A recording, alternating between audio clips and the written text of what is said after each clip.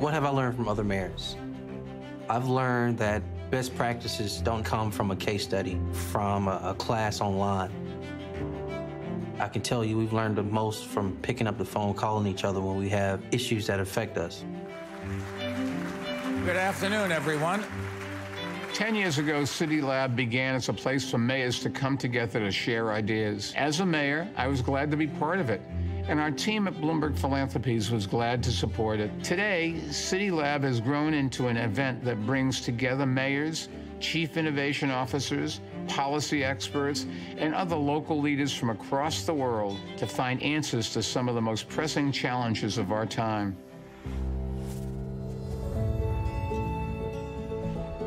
This is an example of subsidized housing in Vienna. This was designed by the tenants themselves this is what we are reproducing whenever we have a chance to develop our city further. Fixing a city doesn't necessarily have to involve pushing out people who have been there for, for generations.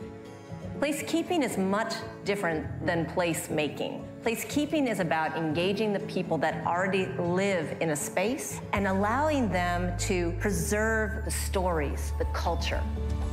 The Asphalt Art Initiative, we've helped make streets and sidewalks brighter, more visible, more full of life, and safer.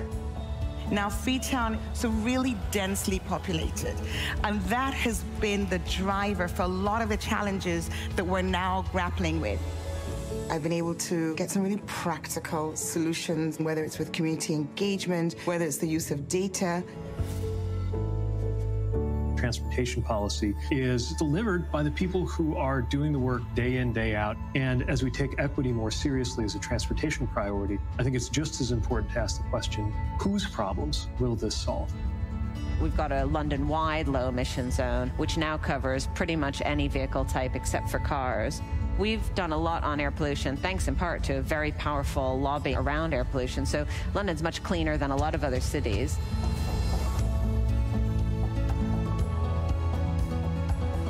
Language skills considered advanced for her age thanks to a novel program called Providence Talks. The principle behind this program actually turns out to be that a parent is a child's first and most important teacher. Digital innovation in Mexico City is a way to ensure that everyone in Mexico City have access to the rights they deserve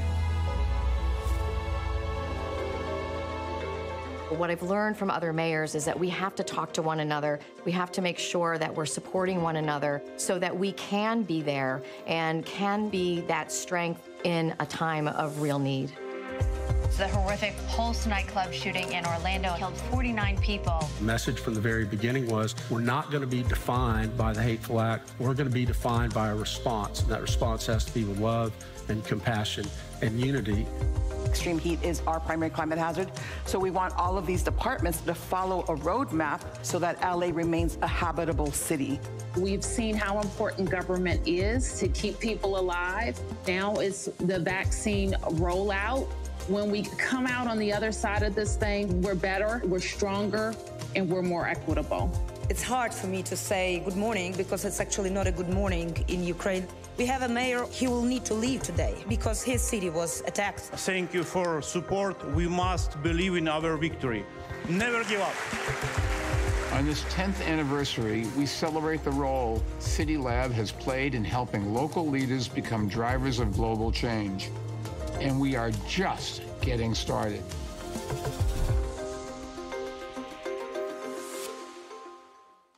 Please welcome CEO of Bloomberg Philanthropies, Patty Harris.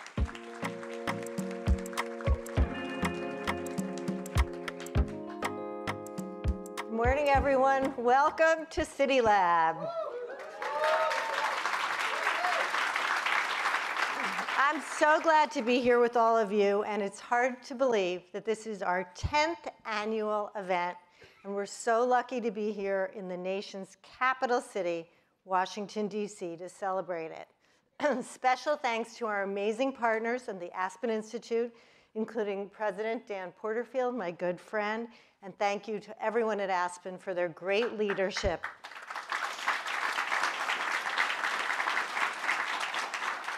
We hosted the first City Lab in New York in 2013, back when Mike Bloomberg was mayor. And since then, we've taken it to cities around the world, from Los Angeles to Paris to Amsterdam just last year. Over the years, I'm proud that CityLab has become a must attend event for the brightest leaders and thinkers to discuss solutions to the greatest challenges facing our cities. At Bloomberg Philanthropies, all, we've always believed in the power of bringing people together to share ideas. And that's what this week is about. And it's especially exciting to be here in this spectacular building, the new Johns Hopkins University Bloomberg Center, which is designed to convene leaders and scholars and students here in DC to grapple with global challenges and great opportunities. And a big shout out to President Ron Daniels, wherever you are, Ron. Congratulations. Mike is always pushing us to help break down silos and strengthen collaboration. And you can see it in the design of this great building and in the design of our conference, which really brings together thinkers from all around the world. So I think we're in for a terrific week, and I'm glad to say we have some great news to share that will help cities do more to exchange ideas. Mike wishes he could be here to tell you about it in person, but he didn't want to miss out on the opportunity. So before we get started, let's hear it from him. Thanks, Patty. Hello, everyone, and thank you for coming to our 10th annual City Lab. I'm sorry I couldn't be with you there today. After three and a half years, COVID finally got to me. I'm doing just fine, and I can't wait to hear the full report on how it went. Today, we're convening nearly 600 of the most creative and ambitious city leaders to wrestle with some of the most urgent questions facing the world. But we're also missing some incredible contributors to City Lab and our innovation community who had planned to be here with us, our Israeli contingent. Instead of joining us here, they're attending funerals for loved ones, searching for lost neighbors, housing those who've been displaced, lining up to give blood and helping however they can. We're as resolute in our rejection of the terror they have suffered as we were when terror struck in our own backyard on 9 11. And our Israeli colleagues will be with us in spirit as we gather here. As we kick off this great event, let me thank Johns Hopkins University President Ron Daniels for welcoming us to this brand new center and also DC's dedicated and dynamic mayor, Muriel Bowser, for welcoming us to her city. It's fitting that we're hosting it in Washington, D.C., because mayors are natural bridge builders and their influence is growing in national capitals and on the global stage, too. Part of the reason for that is, over the last decade, mayors have been learning and borrowing good ideas from one another. And as a result, proven solutions to climate change, education, infrastructure, and much more have been spreading across the world, but not fast enough. And so today, our foundation is announcing a new first of its kind effort called the Bloomberg Cities Idea Exchange. This exchange will create a central place for leaders to learn about proven ideas that already exist and also to receive technical resources and expertise to adapt the ideas to their local circumstances. It will offer startup grants for implementation, idea tours, as we call them, where local officials can visit other cities free of charge and see how innovations are taking off, and an evaluation fund where cities can submit promising ideas for further analysis to see if they can be replicated. An initiative of this scale has never been created before, but given the number of issues cities are facing, we couldn't be more excited about its potential to save and improve more lives. We hope everyone here will take full advantage of it, and our team at Bloomberg Philanthropies is looking forward to supporting the work and seeing the results. And now it's my pleasure to introduce someone who really understands the importance of cities on the national and global stage and that's because Mitch Landrieu has truly done it all. He was a state legislator, a lieutenant governor, a mayor, and now he works in the White House as a senior advisor. But as I like to say, once a mayor, always a mayor. Mitch is doing tremendous work ensuring that cities can get the infrastructure dollars they need to bring their ideas to life. So we're glad he could travel all the way down Pennsylvania Avenue to spend some time with us this morning. Mitch, the floor is yours.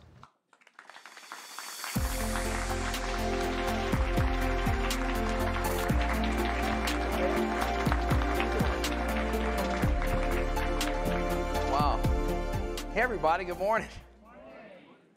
It's nice to be here. Thank you, thank you, Mayor Mike. I appreciate that introduction from afar. I'm sorry that you can't be with us today, but I want to uh, begin by thanking him for his incredible leadership, one of the great mayors that America and even the world has seen in our time. Uh, and of course, yeah, you can do that. He can hear you, you know. Uh, and of course, to Johns Hopkins and you know to the entire group of folks that actually put this on, to all the mayors. I'm looking out there to see all my friends. Uh, it's great to see all of you. Let me um, first tell you how happy I am to be here on behalf of the President of the United States. Um, he, as you know, is in Israel, uh, where he went to show his support after uh, the appalling terror attacks. And he's looking forward to hearing from Israel what they need to defend themselves against terrorists uh, and consulting uh, with them on the next step. Um, also to discuss with them the humanitarian crisis in Gaza uh, and the need to minimize uh, casualties. Uh, he is, as all of us are, outraged by the hospital explosion that uh, we saw uh, and believes that innocent Palestinians have nothing to do with Hamas should not have access, should have access to food and water uh, and medical care, and is developing a plan with Israel so that we will enable humanitarian aid to reach civilians in Gaza in a way that doesn't benefit Hamas. And as um, Michael said, we will hear from a number of mayors who were going to be with us today uh, but could not be. Anyway, thank you all for being here today. I look out uh, amongst this crowd and I see folks that actually make it happen. Um, when the president was elected, uh, he had been many, many times um, to any event that he could be with mayors in it because he started off as a local elected official. Uh, he tells a, uh, a little story about when he was a United States Senator getting called from one of his constituents to come over because they weren't picking the garbage up. Uh, and said, Senator, I need my garbage picked up. And he said, Well, why didn't you call the mayor? And he goes, Well, I didn't want to go that high. so he understands uh, the work that we do. And he brought that work to the White House. And he believed that if elected president, he would use his power to do three things restore the soul of our nation, which you have heard him talk about many, many times, which uh, is in an existential crisis and a decision that we all have to make, not only in the United States, but in the world, between author- authoritarianism and democracy, top down governance versus bottom up governance. And he thinks the only way we can do this is to unite the country. And he thinks the way to do that is to do what it is that we do best. See, there are lots of things that we cannot control in this world, things that we have to react to, things that put us in harm's way. But there are things that we can control. And those things that we can control, making ourselves stronger from within, investing in ourselves, and investing in infrastructure that we actually need to live, to breathe, and to work every day is critically important. And so he got about the business of making sure that we got that done. A lot of people have talked this talk for a very long time. Mayors in this room, you don't even need to raise your hand, don't out yourself. How many conferences and meetings we had about an infrastructure bill? It was going to be an infrastructure week. It was going to be whatever. Well, let me tell you something. This guy got in there, put pedal to metal, made it happen, $1.2 trillion. Ladies and gentlemen, now we're going to have an infrastructure decade. That's what we're doing right now. $1.2 trillion to rebuild the roads, the bridges, the airports, the ports, the waterways. High speed internet so that a little girl doesn't need to be sitting in the back of her mama's car outside of McDonald's trying to learn. So that why? Why do we make it so hard? She's the one who's going to find the cure for cancer. She's the one that's going to find the answer to maternal mortality rates. She's the one who's actually going to lead the country, and yet we are starving her for knowledge. And so the president says, why don't we get access to knowledge? Because that's the great equalizer to every person in the United States of America so we can realize the benefits and the genius of all of us being together because diversity is this nation's greatest strength and our greatest opportunity. Roads, bridges, airports, ports, waterways, high speed internet, but then clean air and safe water. In the United States of America, in the second decade of the 21st century, we have 2 million people that don't have running sewage systems in their houses. I saw a little girl in the Imperial Valley the other day whose mom and daddy dig dirt and pull alfalfa uh, out, who live in a trailer park that has arsenic in the water that she drinks. I was up in Napakiak Village, way the hell up there in Alaska, not too long ago, in a tribal community that's suffering from the deteriorations of coastal restoration. Clean air and safe water, Superfund sites, brownfield sites. You know what this is? These are people who didn't learn from their mama that they shouldn't clean up what they messed up. Hmm, that's right. You can say true that because I'm from New Orleans. And so we're going to go clean that up, and you're going to do it in your communities. And then finally, confronting the existential crisis that's before us, which is a clean energy economy, because the climate crisis is killing us as we speak. I'm from the city of New Orleans. I know what a deteriorating coast looks like. The coast in New Orleans disappears at 100 yards every 45 minutes. By the time I leave here today, we're going to lose another football field. We've already lost the size of Delaware. That's happening all over the country with sea level rise and with we're having heat waves, we're having fires, we're having hurricanes, we're having tornadoes, we're having the whole doggone thing, and we have to fight that as well. And so the president asked me to work with all of you. And two years in, you can ask us how we're doing. Thank you for asking. We, we've pushed $300 billion out of the door. We have 38,000 projects coursing across this country. Thank you. In 99 counties uh, in America. I have traveled over 120,000 miles. I have been to over 110 cities, towns, counties, or tribal communities working with each and every one of you to rebuild the country. Because at the end of the day, this is what I learned helping rebuild the city of New Orleans that it works when we all come together. You will hear the president say this every time he talks. When we do things together, when we seek and find common ground, there is nothing that we cannot do if we make sure that we don't leave anybody behind. And we will build a country from the bottom up and the middle out that will be so strong we never have to look over our shoulder again and think about going backwards, but only think about going forward. You know what I call that? Building a bridge to the future. And that is what this conference is all about. It's not just a real big bridge, it is a figurative bridge, one that people actually need to get from where we are to a better tomorrow because we're not going to build the country back the way it was. We're not going back. We're not turning around, like we say in the South.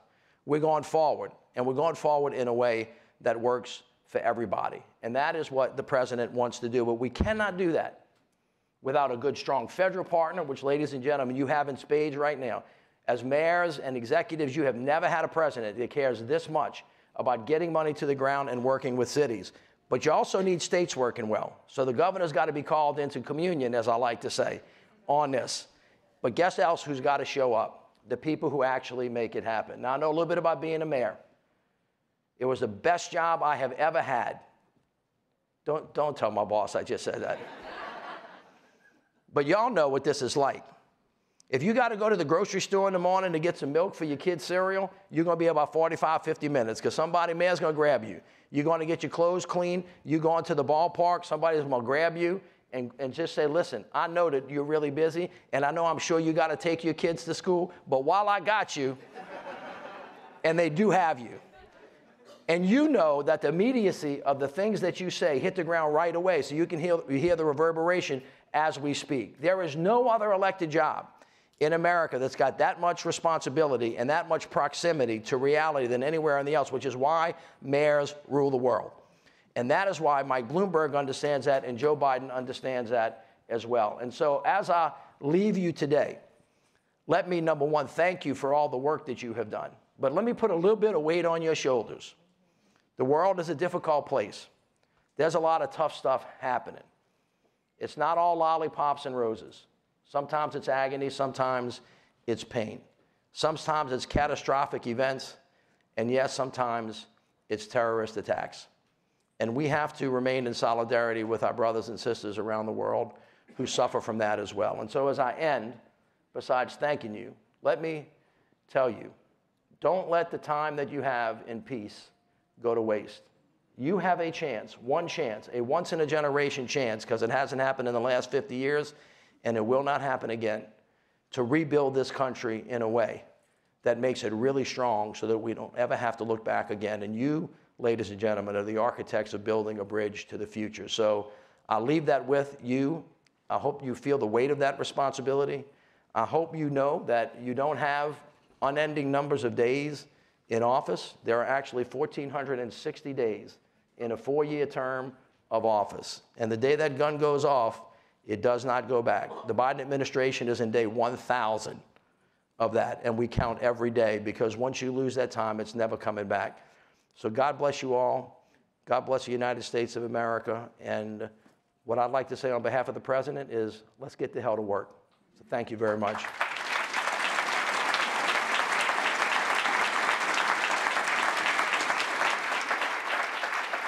Before I, before I depart this, this lovely stage, we have um, a message from uh, two of our fellow mayors uh, who are in Israel, the mayor of Sderot uh, and the mayor of Gezer. Uh, they will both uh, come to us with messages. they unfortunately could not be here, and you know why, but I will let them speak for themselves. Uh, thank you. My name is Rotem Yadlin. I'm the mayor of Gezer Regional County. Gezer Regional County is uh, halfway between Tel Aviv and Jerusalem. It's located uh, between 40 to 55 kilometers from uh, Gaza. So my name is Alon Davidi. I'm the mayor of Sderot in the last 10 years. I don't know if you know where is Sderot. Sderot is the city that is the, the, the closest city that we have in Israel to Gaza border. We are something like 800 meters from the border of Gaza, and Sderot have 36,000 36, people that live in the town. I was actually, I pretty much, uh, pretty fast understood that uh, there was a war that was starting. It was 6.30 in the morning. Uh, we walk up uh, from actually um, rockets uh, in the air. I had to run with my kids first to the uh, safe room, safe room in the house and see that they're okay. And then I went out. And I, as I was driving to the operation room in uh, in the regional uh, county, you could see um, the fires going on around. I'm actually a mayor without citizen because most of uh, my people, my uh, citizens, need to evacuate from uh, the city because last Saturday, uh, 45 terrorists from the Hamas come inside to my city, murder more than 42 uh, uh, citizens and officers from the army and from the police. And now Sderot is a dangerous place to be there. A current mayor, uh, Kali, a friend of mine, he had four kids and a wife. He was living in one of those communities that was invaded uh, by the terrorists of Hamas. And when he heard at 6.30 the the rockets going around and the sirens.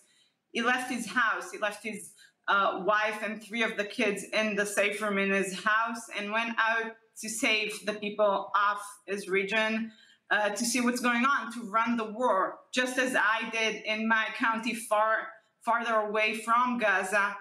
Um, Ophir was killed fighting for his community to save them. It's a very dangerous and it's a very uh, dangerous place to be there. Besides that, we're afraid that more and more terrorists come to the town, and we wait, we wait.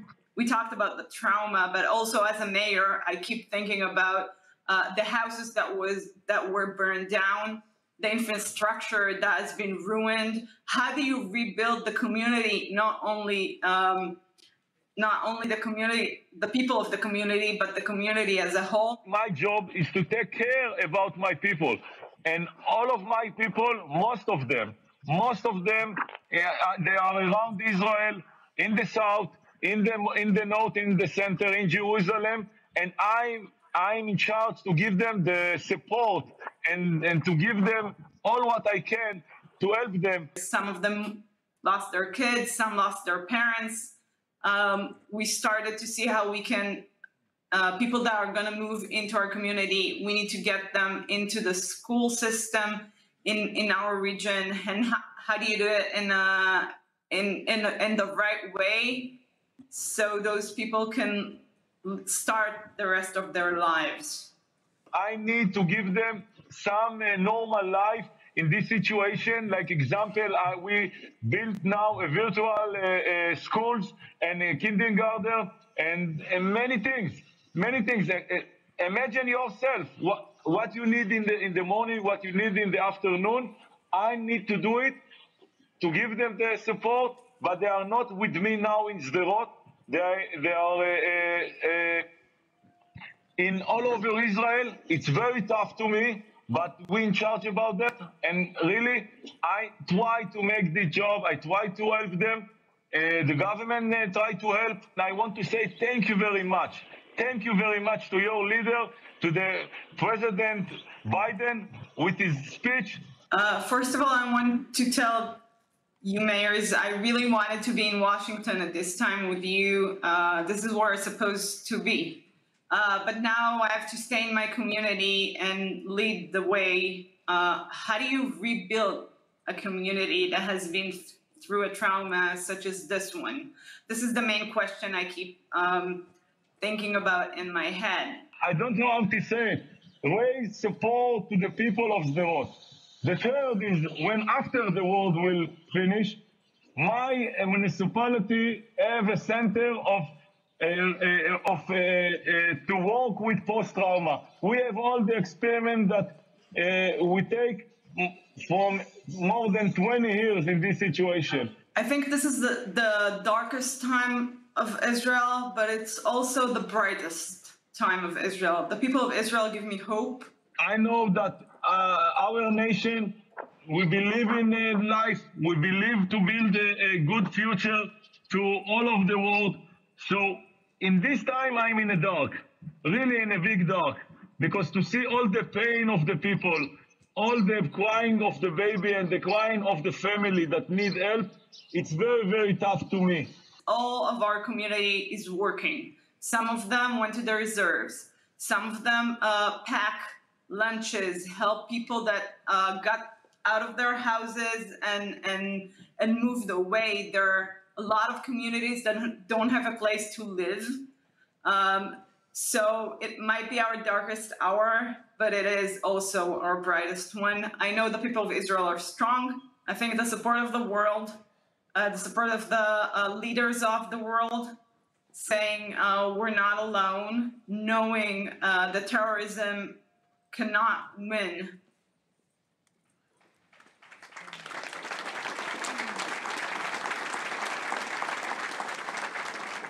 And now, a conversation with the mayor of Washington, D.C., Muriel Bowser, and reporter for the Washington Post, Michael Brice-Saddler.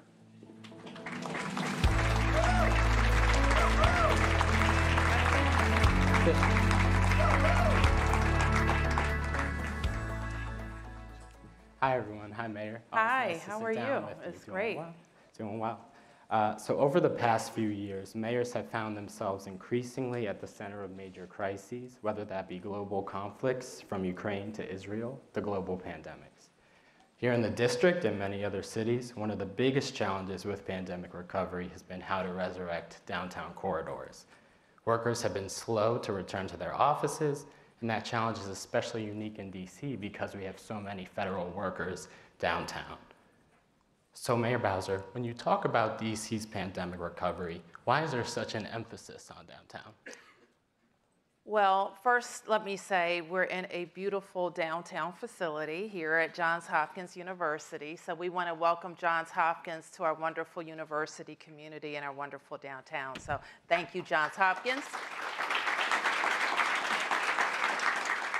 And um, I think it's important when we talk about global capitals like ours that we talk about their vibrancy.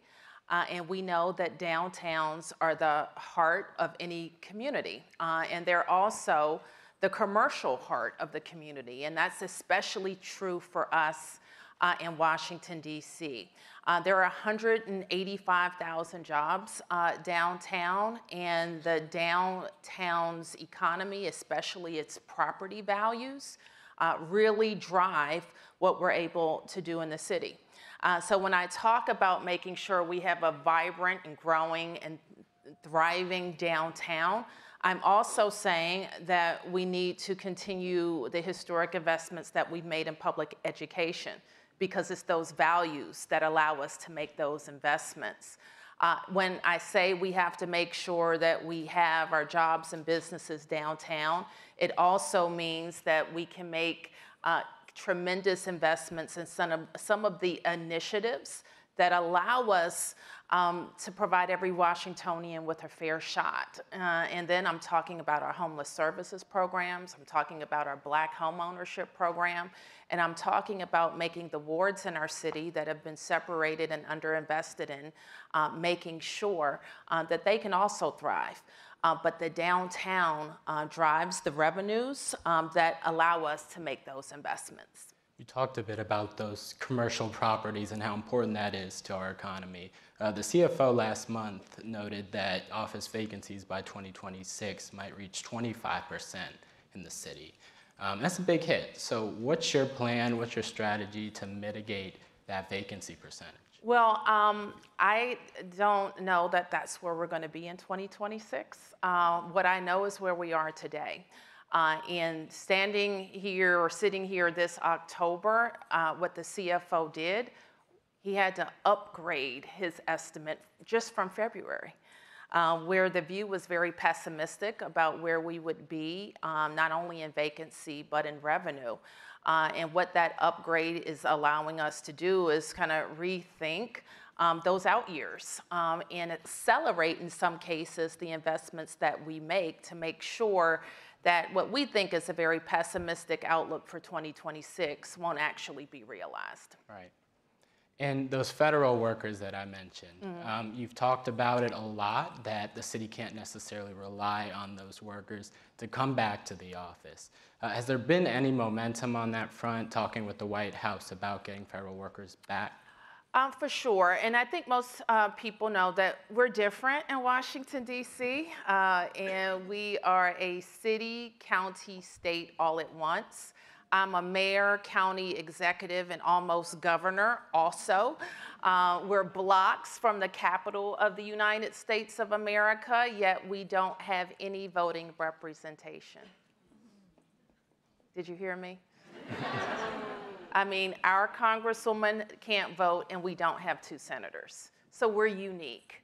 Um, now, there are some good things about being that special, um, and one is that the mayor, county executive governor, me, uh, and 13 council members make the decisions for our $20 billion budget for 700,000 people. So that relatively flat structure allows us to move quickly and uh, to pivot quickly. Uh, and what I have uh, tasked uh, all of our agencies to do uh, is focus on our five-year economic development strategy. Um, just this week, uh, I had the opportunity to name a new leader of our economic development efforts, and she's here, Nina Albert. Thank you, Nina. Uh, Nina comes to us from the federal government, where she was the Public Buildings Commissioner uh, and brings a wealth of experience and knowledge about how we can reposition some of our buildings. This was what every mayor here knows, is that we're not gonna go back to 2019. Uh, so our downtowns won't be exactly the same. Hybrid work uh, is likely here to stay, um, but, but it is. This is the new uh, way of work. And so, what we have done in our economic development strategy is certainly focus and set some pretty big goals for the downtown, including adding 15,000 residents. Uh, and investing in a pretty aggressive commercial to housing uh, conversion uh, program. Uh, and it's working. We know that we have 22 properties in various stages of conversion in the city right now. Uh, one thing that we learned from this pandemic is our downtown is too commercial heavy. Um, almost 90% of the space is dedicated to commercial space. Even in, in, in our neighborhoods in the district um, that have more uh, commercial and a, a better balance be, between commercial and residential uh, fared much better during the pandemic. So we're really focused on how we bring more um, people downtown to live uh, and look at different ways of repurposing our properties. Now, I had a kind of a spicy message uh, to the president in my inaugural address uh, in January. Um, it was the third one, so uh, you get a little bit spicier, I think. Uh, but what I said to the president, and it's a, you know, it's a direct message, but also one that needed to be said, uh, was that we need the federal government to rethink its properties and either have a purposeful plan for conversions or let us do it. Turn them over to us and we'll figure it out. Now, here it's great that we're in this building because we have some spaces, and leases are one thing, I'll put them to the side. But we have some buildings. Now, our city is a capital city built on the L'Enfant Plan, wide avenues and majestic buildings, right? It is supposed to convey the, the, um, the power of our democracy. And so we have many buildings like that um, maybe 12, Treasury, Justice, Commerce, that's across from my, my office. And those buildings were built for one purpose, federal workers. Um, and so if they're not being used to their highest and best use, um, we need to figure out what to do with them. I point to this building because it was a museum. And uh, through, you know, Mayor Bloomberg's incredible um, vision and investment in partnership with Johns Hopkins, Hopkins University, it was repurposed. And I have to say, as much as we love the museum, this is a higher and better use. And so we have to have that kind of vision and investment when we think about um, our grand buildings. And you talked about that goal, adding 15,000 new residents downtown. So there's this emphasis on not just maybe converting buildings or repurposing buildings, but bringing new populations to the city and then also retaining them. So you can talk more about that strategy and how it's going. Um, well, it's going well. Um, many of us were worried, and many cities lost population during the pandemic. People went back home, they moved in with parents, they moved abroad because they could work from anywhere. Uh, and we saw our population decrease. Uh, in the most recent revenue estimate that you referred to, we're seeing that bounce back. So our residents are coming back. Um, people continue to love to, to live in cities, to be close to transportation, parks, culture, uh, our fantastic public school systems where we have free pre-K starting at age three, free and it's universal. Um, so those types of things attract um, people back to cities. And so the conversion strategy is a residential growth strategy because what we would be doing is adding housing. And then there's another element to this too you've talked a lot about, which is sports. Yeah. Uh, you want DC to be the sports capital. No, DC is the sports capital. um, well, I think people would love to hear more about that, and then, of course, to talk about the Washington Commanders and attracting them. I would, but if you would, I'm happy to talk about sports. Um, but part of our strategy um, that I have to mention before we, we go there is how we also are retaining employees in our government. Um, and, and over the last years, there's been a great competition for talent. Everybody's trying to figure out the change of ways of work. And for the mayors who are running cities and have to provide incredible city services, we continue to need police officers, teachers, firefighters, 911 call takers, case managers. Uh, and there's just an incredible um, competition for that talent. Uh, so we have been very uh, grateful to partner with Bloomberg Philanthropies, and we have an I team um, that's really supported us in thinking about uh, our, our talent pool. Um, so we are happy uh, that we're going, we're creating a new partnership with our HBCUs uh, in DC. Those are historically black colleges. And we have uh, two fantastic leaders. Um, first, for our university, the University of the District of Columbia, Dr. Maurice Edington, who is here. Where's Dr. Edington? Um, as, as well as uh, Howard University, often referred to as the Mecca uh, for uh, in historic black, historically black colleges, and their new leader, Dr. Ben Vinson. So thank you, Dr. Vinson, for being here. Um, so what these uh, great leaders are, they're partnering with us to create the HBCU Public Service Program, uh, where we will hire apprentices, graduates from, uh, uh from Howard and UDC, and uh, guarantee uh, that they will be matched in a good paying job in DC government, hopefully to grow their careers. So that's a great part of what we're doing. Why was, why was the focus on HBCU so important there? Uh, it's so important for us when I look at um, part of my job uh, is to manage 34,000 people and to always make sure that we have the talent that we need. Um, now, one privilege that I have of longevity, uh, and I am currently in my uh, ninth year as, as being mayor, is really seeing uh, how to grow leaders in the government. And I have a real focus on that from the cabinet level where I make appointments, but also from the entry level um, in attracting uh, great people who want to work for us. What we learned is people come to DC, they come to universities like Howard and UDC and Johns Hopkins for that matter, because they want to be part of a, a, a public service. They have a change the world mindset. And uh, you can do that in local government. And we want people to know they don't have to move away. They don't have to work for a think tank. They don't have to work for the feds. They can do that in local government. I fell in love with local government because of the speed uh, can have an idea one day, get it funded, and implement it in a year's time. And you can't do that anywhere else. Well, thank you so much for Thank the you. time, Mayor. You, Really thank you. Appreciate it. Thank you, everyone. Thank you.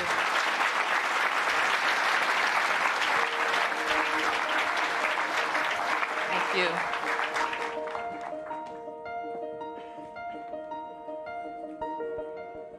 Please welcome the Mayor of South Yorkshire, UK, Oliver Coppard, Senior Counselor for Technology and Economic Growth to Secretary Raimondo at the U.S. Department of Commerce, Zoe Baird, Mayor of Columbus, Ohio, USA, Andrew Ginther, with DC Bureau Chief at Bloomberg News, Peggy Collins.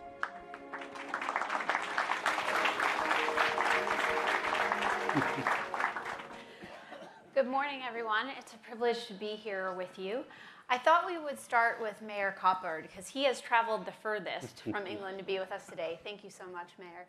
So, Mayor, you oversee a region in the UK that is the first investment zone in the UK and also has received an initial private sector investment from Boeing recently of about 80 million pounds, I think it is.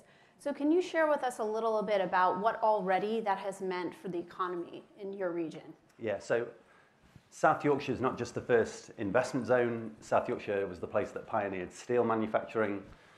We were the world's first advanced manufacturing innovation district. So we also are now um, the UK's first investment zone. That's essentially an 80 million pound, about 100 million dollar package of support from the UK government, which allows us to focus our strengths in advanced manufacturing, um, particularly our research strengths. Um, and through that money, we've been able to bring in Boeing. So Boeing's only manufacturing facility in Europe is in South Yorkshire, and the second facility was as a result of the investment zone. So now it's getting to a point where if you're not in if you're in advanced manufacturing and you're not in South Yorkshire, that's your problem, not my problem. So uh, we're pretty excited about that. Well, Mayor Ginther, um, when we bring it back to the U.S., your state of Ohio has actually has also been a big beneficiary of this huge shift we've seen in industrial policy in the U.S. Probably the biggest shift since World War II. And in Ohio, you've seen investments by Intel to build a new chips manufacturing center and then also a new battery plant. So, can you tell us a little bit about how that's going in terms of jobs that are being created and other investments in your region? Yeah, it's been pretty transformational. We already had the fastest growing economy in the Midwest, creating 27,000 jobs over the last eight years, and so 3,000 permanent full time jobs with Intel and 2,500 with the Honda LG plant uh, to our west. And so, um, an incredible time. We really are trying to move with an intensity around growth, but being purposeful and intentional because we know that growth without purpose and intention and a plan sometimes can be an accelerant to disparities and inequities. So, along with job creation and workforce development, partnering with our community college, we're making huge commitments around housing and transit to make sure that the workforce that we're building are able to access these jobs. Because, of course, you know, for the permanent jobs at Intel and Honda, there are about 10 jobs being created for every one job there with suppliers and vendors. So it's, it's going to be require all of us to do things differently. We were rewriting our zoning code for the first time in 70 years to embrace density and height, uh, which, as you can imagine, in the Midwest uh, is going to have its challenges with, uh, with culture. But uh, we're making our way. But uh, being a workforce hub uh, identified by the First Lady, we're grateful for that. None of this would have happened without the CHIPS Act. And so I want to thank uh, the president and the Biden administration for making that a reality. Well, you mentioned the word workforce a couple of times there. And Zoe, I want to bring you in because you've had so much experience in your career around the workforce. And you work now for the Secretary of Commerce that it's deploying so much of the funds around the CHIPS Act. Can you talk to us a little bit about the federal government, how the federal government is trying to help prepare the workforce for some of these new jobs? Sure, it's such a pleasure to be here with you today. So while I am now working for the federal government, I used to represent state and local governments in the Supreme Court, and so I'm a big believer in what you do and know that we can't do any of this without you. The CHIPS Act has been mentioned. It's an extraordinary investment, um, 52 billion on the part of the federal government in developing the semiconductor industry in your communities, but more importantly, that those resources are meant to be a catalyst for private investment. And I think you're seeing, as was mentioned in Ohio, enormous private investment to bring this critical industry back to the US. We really dropped the ball and let this go offshore. And this is one of the areas where the president is deeply committed to reinvigorating critical industries in the US and in communities. And the workforce component of this is enormously important. The CHIPS and Science Act will create uh, 100,000 construction jobs. It'll create 90,000 technicians, people to operate the fabs. Most of these jobs don't require a four-year college degree. But we also need to accelerate the number of engineers that we have so that we can continue to be on the forefront, not just in this sector, but in other critical technology sectors. Um, so it's really a privilege for us uh, at the Commerce Department and in the federal government to develop these programs. And I know you heard Mitch Landrieu talk about the infrastructure programs in the same vein. It's really a privilege for us to develop these programs in conjunction with local government because you're going to need to create the sectoral partnerships that will enable people to get the training they need, training that leads to jobs. Secretary Raimondo likes to say, we're not in it for train and pray. We're really focused, and, and those of you who've looked at the CHIPS uh, Notice of Funding Opportunity and the many other funding programs that we have out of the Inflation Reduction Act and otherwise, all of these have very robust workforce um, investments in them in conjunction with local communities, encouraging the creation of sectoral partnerships so businesses are identifying the jobs that are needed, the training providers are able to bring forward the training opportunities, and you're able to connect all of this so that people know which training to take, and that training leads to real jobs. So you're at the point of the spear, and we're really privileged to work with you. So Mayor Coppard, let me go back to you on this front. You know, my colleagues at CityLab have been doing a lot of reporting about the efforts in the UK to, to level up, as you say, parts of the country and region that have been left behind somewhat, particularly in northern UK where you are. But it's been a challenge. So can you talk to us a little bit about what challenges you're seeing to getting the success that you want to have there? Yeah, absolutely. I mean, the, the so-called levelling up program that the government have been pursuing is designed to try and um, make the north of the UK just as prosperous and productive, importantly, as the south of the country. And at the moment, that just isn't the case. Now, the government promised us a load of transport infrastructure, which hasn't quite materialised. But on things like the investment zone, we have seen that investment in places like South Yorkshire. So we're determined that through advanced manufacturing, in the same way as uh, places in this country, uh, we can regenerate our economies and our communities and deliver that right throughout our communities. So I was in St. Louis um, just uh, last week and over the weekend talking to colleagues in St. Louis about their approach to advanced manufacturing being very similar with Mayor Jones, being very similar to the challenges that we face because this isn't just about levelling up the country in the UK, it's also about levelling up my region. So the jobs and opportunities through that investment zone and on the world's first advanced manufacturing innovation district have to be just as accessible to those people that are adjacent to that site, which come from, it's surrounded by some of the of Northern Europe's poorest communities, a place called Darnall, Attercliffe. Um, so I have to make sure that not just that the world sees that South Yorkshire is leading on advanced manufacturing, but that my own community sees that we're leading on advanced manufacturing and that they can access those opportunities and stay near and go far.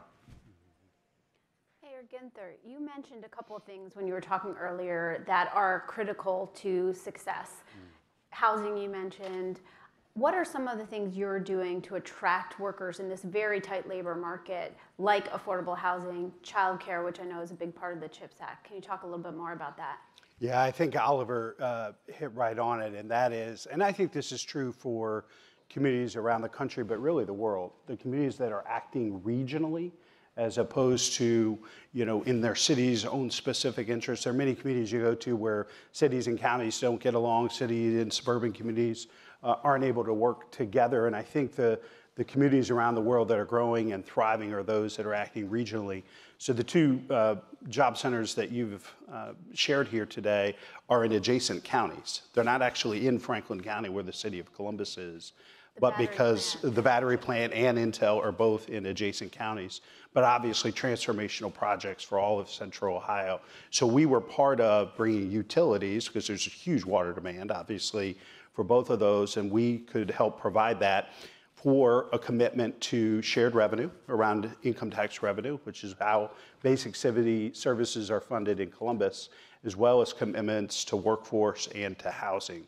I think what we've discovered is that our community college, and Intel has a proud history of this in Phoenix and other places around the country, is a great place for us to partner. And luckily, we're blessed with a great community college there's not a bigger advocate for community colleges in America than the First Lady, who is a community college professor.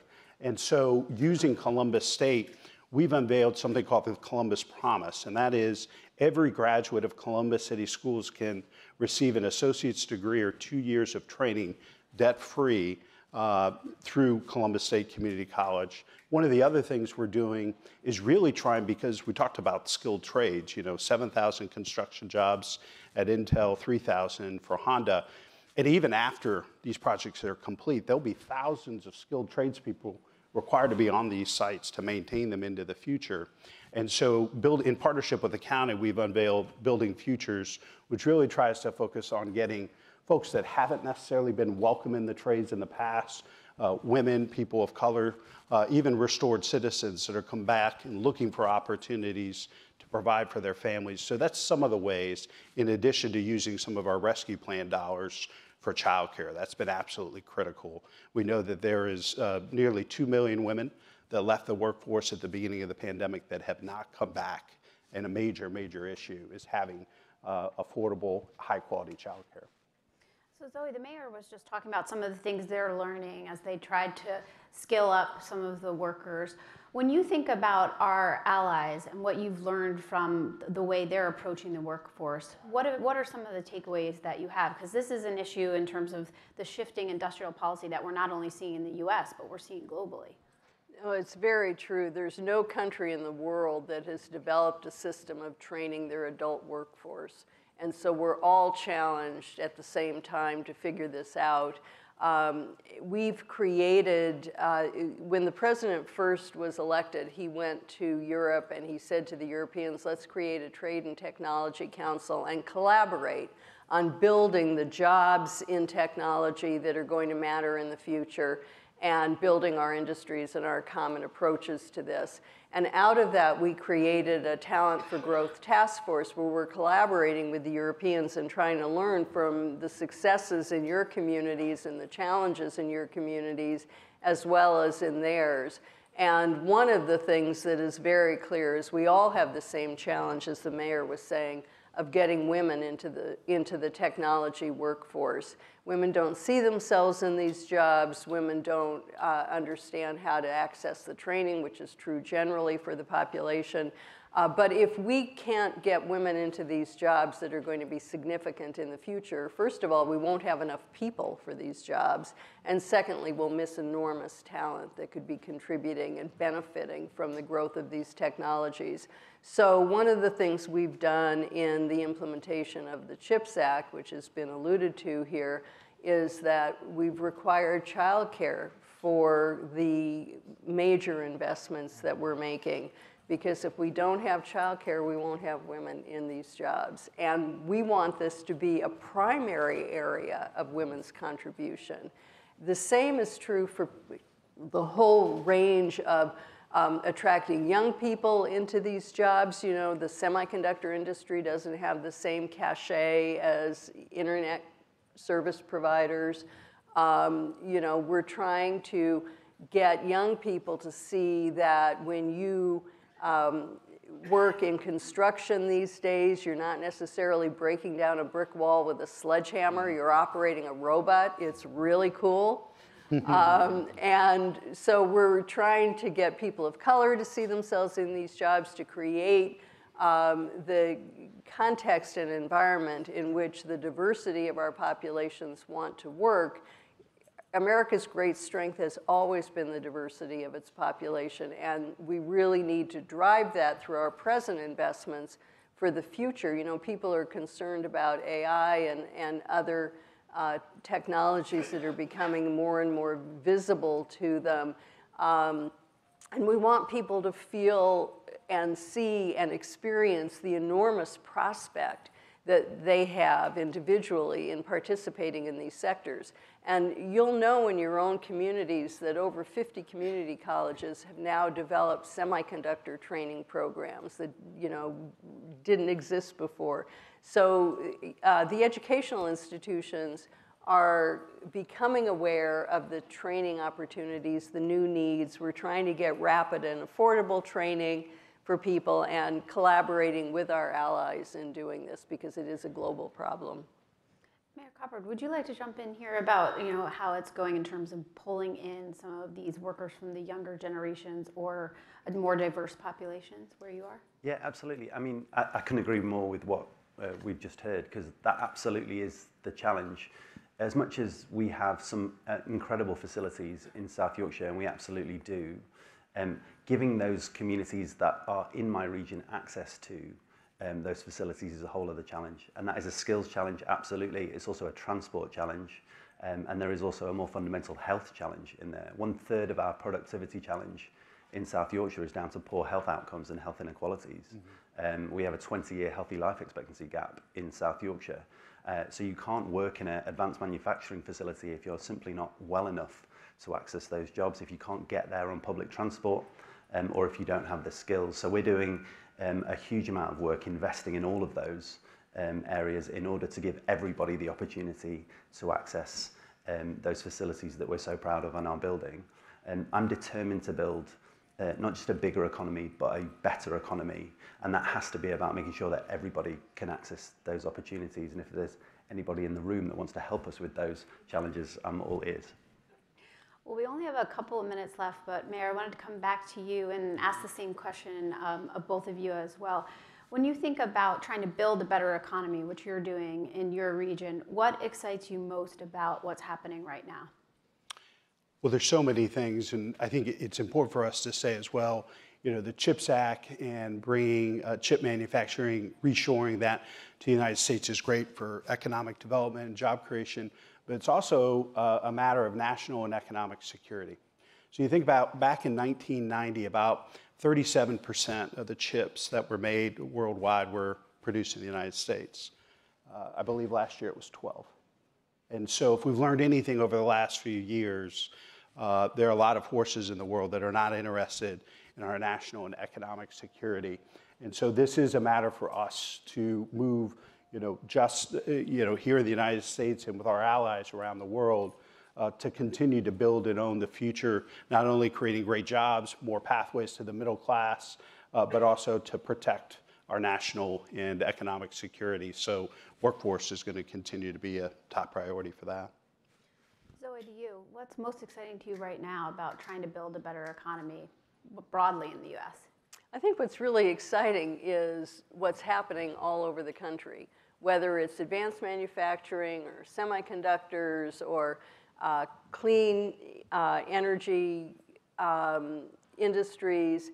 There's a vibrancy, and as the president said, he's very committed to rebuilding the economy from the bottom up and the middle out.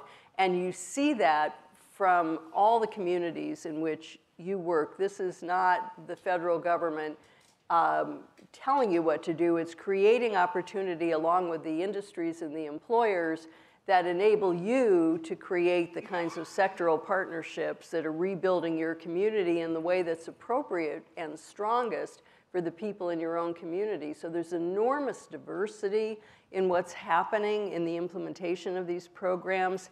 And it's because of how you're leading in your communities, and that's what's really exciting to see. Mayor Coppard, can you bring us home, but via the UK?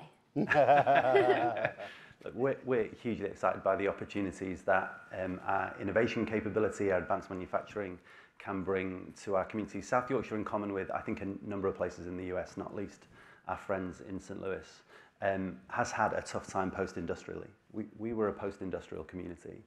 And yet what we're now seeing is that through advanced manufacturing technology, um, digital health tech, uh, we're able to create a new future for our communities. I was elected 18 months ago on a promise to restore the pride, purpose and prosperity of South Yorkshire. And I think through advanced manufacturing, the investment zone that we now have, we're absolutely on a path to be able to deliver on that promise. Well, thank you so much to our esteemed panelists, and thanks to all of you for being here today. Thank you.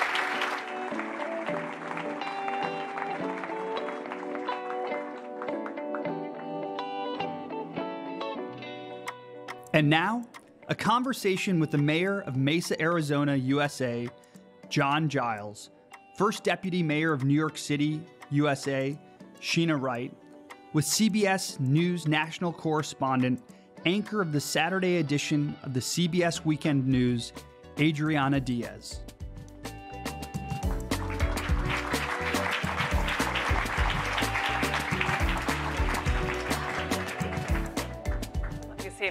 Up on this chair here. Hi, everyone. I'm so glad we're having this conversation with First Deputy Mayor Wright from my native New York City and Mesa, Arizona Mayor John Giles, where I may retire one day. I, that's my hope, my fondest hope for all of you, that you will retire in Mesa. A quick plug there. So we're here talking about the migrant crisis, which has united probably many of you in the room, whether you're near the border or far from the border. We have two mayors who are dealing with this and a first deputy mayor every single day, so it's really important to get their perspective. It's something that me and my colleagues have been covering uh, for decades, but through the years, certainly. I recently was based in Chicago, so we would visit police stations where migrants had to sleep on the floor because there was nowhere else to go. And what they were experiencing was a lot of confusion. They told us a lack of information. And nearly everyone at, at one police station I went to was from Venezuela. Mm. What our reporting is showing us is that there's been a change in the demographics of migration right now. Recently, we're seeing a lot of Venezuelans who don't have ties in the US, who therefore are relying more on city services. It's not like uh, many of the Central Americans who came before who might have family or sponsors. Is that what you're seeing on the ground? I'll start with you, First Deputy Mayor. Absolutely. And as you, everyone knows, New York City is a city of immigrants. And what has been the traditional story is that people would come, uh, like you would send a scout, like my family uh, is from Jamaica, and they would get rooted, they'd get a job, and they would send for the next wave and the next wave. And it would be a growth over time. This is a situation where you have literally hundreds of thousands of people showing up all at once with no ties and no ability to work. So we've had 130,000 people come in over the past 12 months uh, with no ability to work, and 65,000 people that we're still caring for every single day, providing housing, food, school, everything. And it has been uh, really unprecedented uh, expected to cost the city over three years about $12 billion to support uh, all of the people who are coming. So it is, it is an unprecedented challenge, and uh, we're not built for it, and, and really we need some uh, urgent solutions. Mayor Giles, you're about two hours from the border. What's been your experience, and where are you seeing the most strain on your resources? Is it housing? Is it providing school for kids? Is it trying to balance the needs of your local community, the unhoused, with the needs of this new population? Well, it, we have seen changes, as you mentioned earlier. I was on our city council back in the 1990s, and I remember back then we had primarily uh, illegal uh, immigrants that were uh, from Mexico, and we on our street corners we had day laborers that were waiting for folks to come by and hopefully give them a day's labor. And I remember complaining to the federal government back then, and this was in the 90s. Uh, and since then, I, have been the mayor for nine years. I remember right after I was elected mayor, we had a, a surge of uh, unaccompanied minors. And that's when I, when I first began getting phone calls from the small uh, evangelical Spanish speaking churches in my city that were being asked by uh, the federal government can, can we bring three busloads of people to your church tomorrow? And will you take care of them, get overnight, and feed them and get them on their, on their way to their next location? And, uh, and oh, by the way, they're going to show up without shoes and without backpacks and without the, the basic necessities of life because we'll, we'll have taken that away from them at the border. So, and, and then we went from unaccompanied minors to families, and, and now, as you indicated, it's a lot of non-Mexican uh, immigrants, migrants uh, that, uh, that don't have resources. But we, we were uh, typically kind of a way station, and, and, and, we were set up for with Spanish speakers and folks to accommodate people with those needs. Recently, we had busloads of, uh, of French-speaking Africans showed up, and so that kind of threw us for a loop you know, how to, wait a minute, we got to adjust. So uh, we have seen it ebb and flow and change, and, uh, but uh, the, the constant has been that this has, has been, for, for border state mayors, this has been something that we've been very concerned about and trying to get the attention of the federal government for, from for, for decades. Very excited that we now have New York City and other uh, advocates joining that chorus of of local leaders that are asking for some federal assistance. So on that point, you know, whether you think it's moral to bus migrants or too political to bus migrants, one of the objectives of Governor Greg Abbott was to get northern cities and cities across the country to start uh, getting a bit of a taste of what border towns and border cities are dealing with. Have you seen any value in that? Well, I, I, we all need to condemn using people as political pawns. Uh, that's uh, immoral.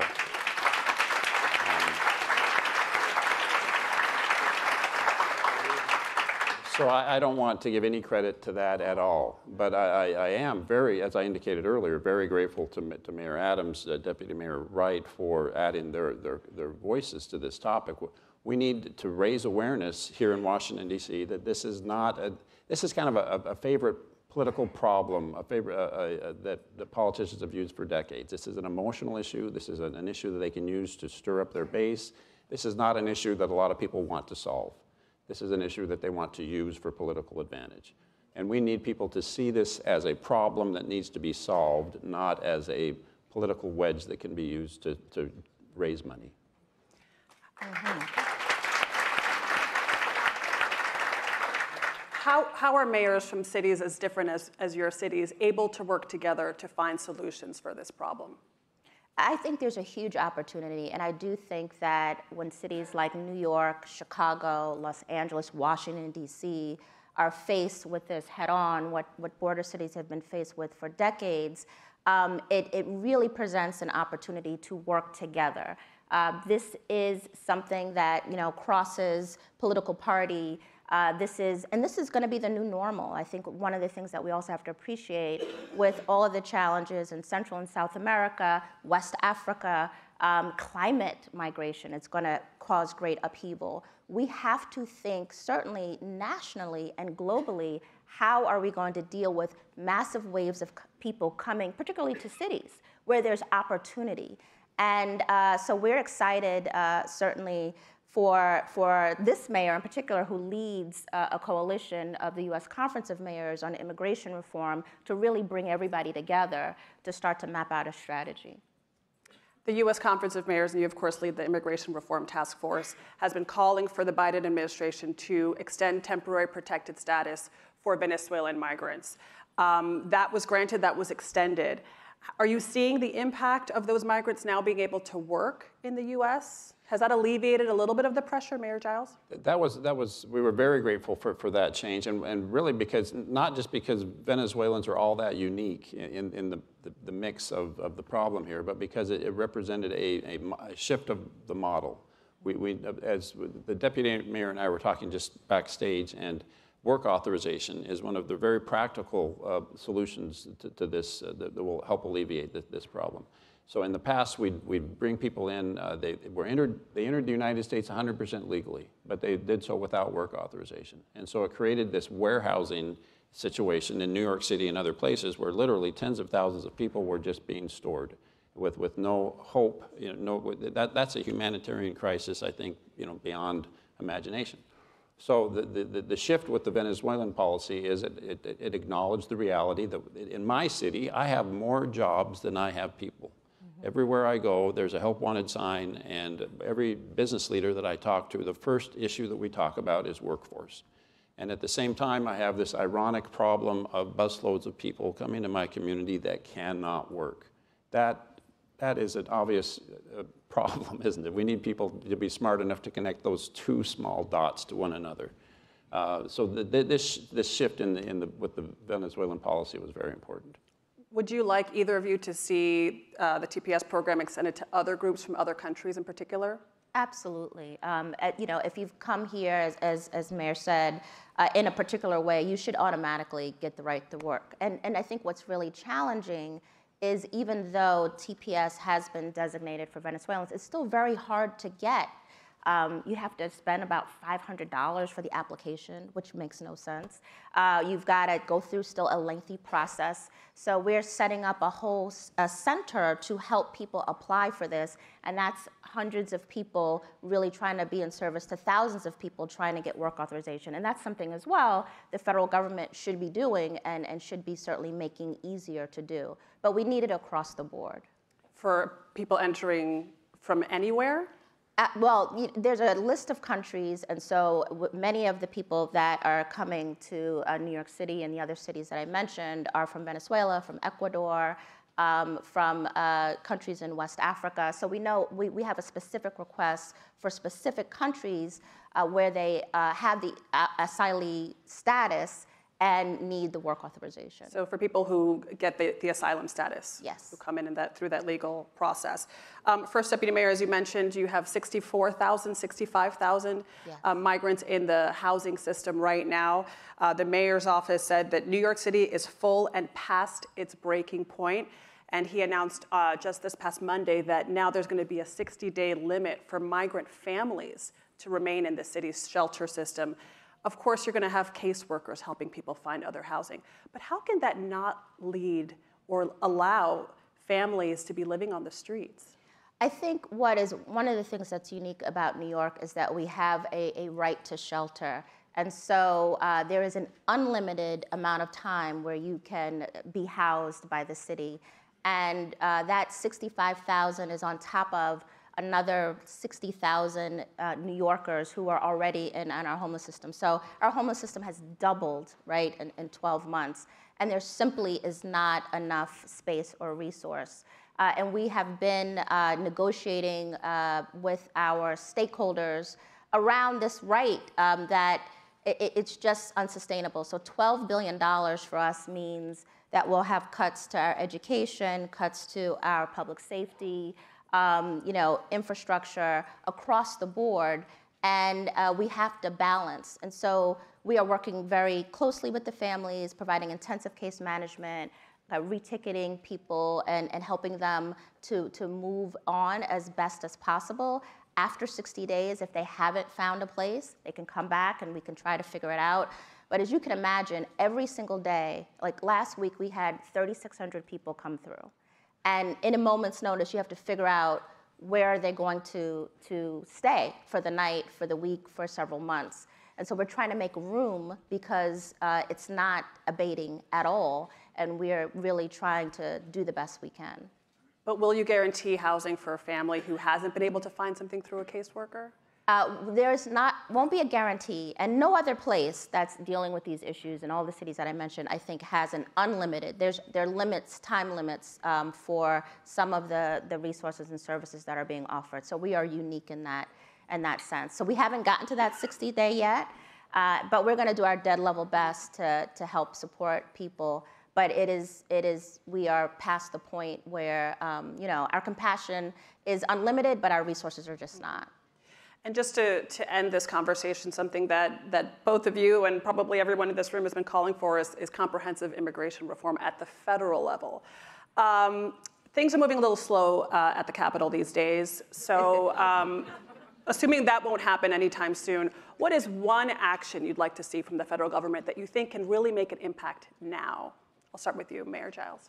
Well, we need a, a raised awareness. We need, again, a, commitment to viewing this as a, as a problem as opposed to an, an, an opportunity for uh, political uh, chaos.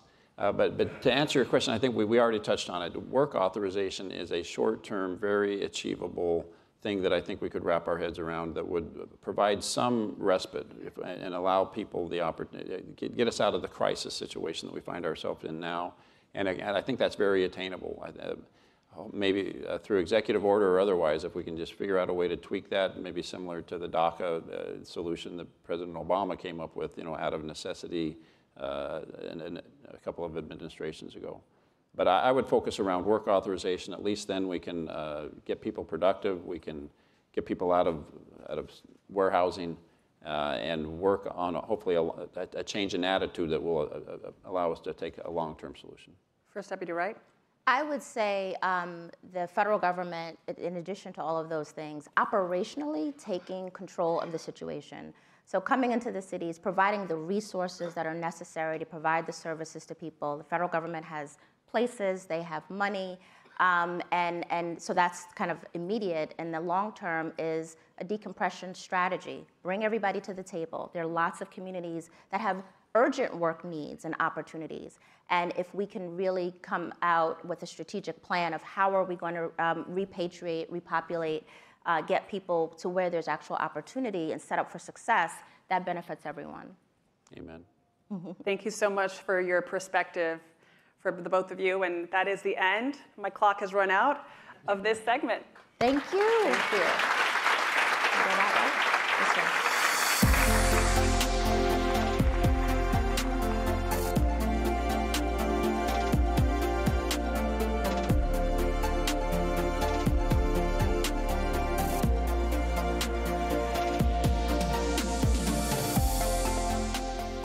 Please welcome the founder and principal of Reddymade Architecture and Design, Suchi Reddy.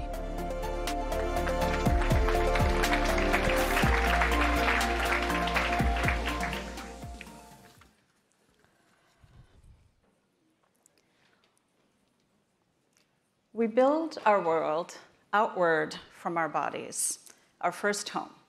We inhabit our bodies, our clothing, our homes, our communities, our cities, our countries, our world.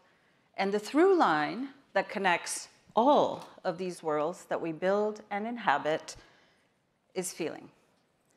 My first experience with feeling and the power of space happened when I was 10. I was a child growing up in India, and I had my first epiphany that my house was actually shaping the person I was going to become.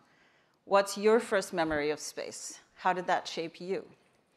This and all of these layers that connect us, our homes, our cities, our worlds, and how we feel about our relationship to one another defines our experience as humans. So, how can we ignore it, both as individuals and collectives?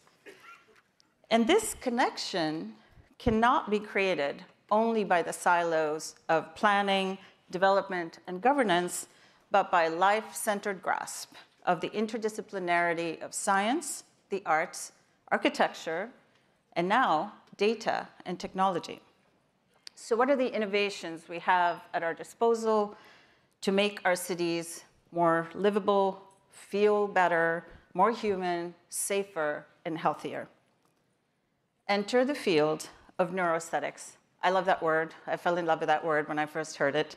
Um, It's the study of how our brains and bodies react to our environments and our experiences.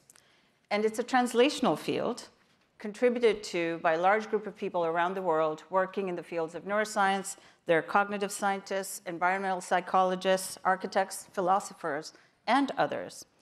And it aims to illuminate our human experience, urban and otherwise, from the point of view of the body, this democratic space that we all inhabit, irrespective of our sociopolitical, economic, or cultural differences. The brain, the body, our feelings are all activated constantly by our environments. You know you feel different because you're in this space as opposed to any other space. Studies in this field range from identifying the reaction of the body to things like color, texture, proportion, this artwork, or to the rise of heart rate and cortisol as you navigate monotonous streetscapes, to the salutogenic effects of restorative spaces that are missing in many of our urban contexts. And applied to space and urban design, neuroaesthetics becomes neurourbanism. And it helps us to understand again how we individually and collectively, as brains and bodies, respond to our environments for the purpose of improving our biological, psychological, social, cultural, and even spiritual outcomes together. So we're in a constant state of being acted on and interacting with our environments in a very real way. You never imagine a spider without its web. Somehow we think as humans we exist outside of the spaces that we're in. And it's actually an incredible intertwining, a constant relationship. So we can measure these interactions um, as we did in this project that we did with Google and the IAM lab at Johns Hopkins a few years ago, where we had people in different rooms and we measured their physical reactions to these spaces. And what we measured were things like heart rate variability, skin conductance, skin temperature. And we could show people that the space was actually acting on them. There were places they were at ease, their bodies were at ease, there were places where they were not. And this is very important information for us to be able to carry forward as research in this field. We could also do it in an analogous way, where we did in Prospect Park a few years ago, where we covered two acres of the park and 7,000 pinwheels and allowed the diverse communities that surrounded the park to express their feelings, both about the park and about the city on these pinwheels. Fully sustainable project, by the way. And a great way to, connect, con, co, to collect valuable data for the vitality of public space. So if you understand this on a communal scale and a much larger kind of a city scale, um, the knowledge that our built environment acts on us can direct the design of more engaging streetscapes for direct experiential and therefore economic return, better parks for better health, less load on the healthcare system, better transit patterns for lowered stress and cognitive load for healthier communities. So cities such as Stockholm, Melbourne, and Amsterdam, which are pictured here, already implement some of this work. There's zoning that requires a certain amount of openings on a streetscape that will make you feel safer, that allow you to interact with these spaces better. Um, and their new challenges, as you heard in the panel kind of that went before you or me, is the monocultures that are affected by immigration. And this is a new frontier for work in feeling and inclusive strategies. So what would happen if we decided to design for what's missing in our collective experience? Could we imagine our cities being designed for states of being so that cities are not imagined just as retail, residential, commercial zones, but as zones for innovation, exploration, connection, restoration, and transition, and that these zones can be imagined at different scales so that they can be healing elements, they can be physical amenities, and they can be economic catalysts. So each zone is designed to amplify vitality and joy. These are complex feelings, vitality and joy. That's not a single feeling. And this is a set of experiences that you could imagine a city being designed for so that it creates this feeling. And this can be the states of being model. So what would it look like, perhaps, to have zones of restoration of multiple scales in our cities, whether it's multiple pods on a, on a street or a micropark that's designed to specifically stimulate or soothe your senses? Can we expand this paradigm of feeling to account for neuroinclusion? 20% of our global population identifies as neurodivergent, and we have to address them in our cities if we are going to be inclusive. Surface level standards, such as building codes and the universal and inclusive design guidelines, have demonstrated that neurodivergent people are in need of innovative architecture. And cities have to respond if they're going to evolve. You heard from the mayor of Mesa, Arizona just before me. Um, they're also pioneers in being an autism certified city, where Visit Mesa encouraged and worked with local businesses to partake in autism training so that they could better assist all traveler needs. So, the future of design is feeling. Reorienting the compass of design toward feeling is the key to unlocking a paradigm in the design of our communities. It can create restoration, transition, and refuge that we deeply crave, and to allow us to sustainably enjoy the vitality and the joy that we look for in our communities. And this has been proven to alleviate the growing urban ills of depression, schizophrenia, and even loneliness. Design can be used to generate equity, empathy, and agency. Designing our cities to support communities must include designing for mental health and physical well being of the people first. And in doing so, we can generate an economic effect that is sustainable, revolutionary, supportive, and evolutionary. The power of design to amplify feeling and generate change is an indispensable tool for our survival. Thank you.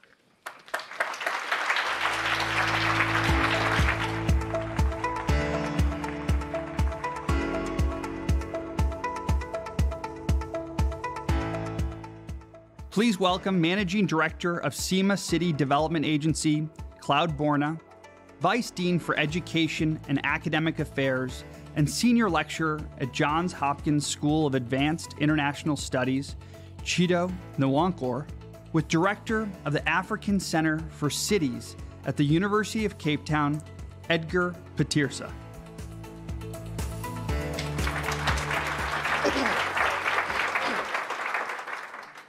Good morning, everyone. What a pleasure to be here and to bring the African story into this very important conversation this morning.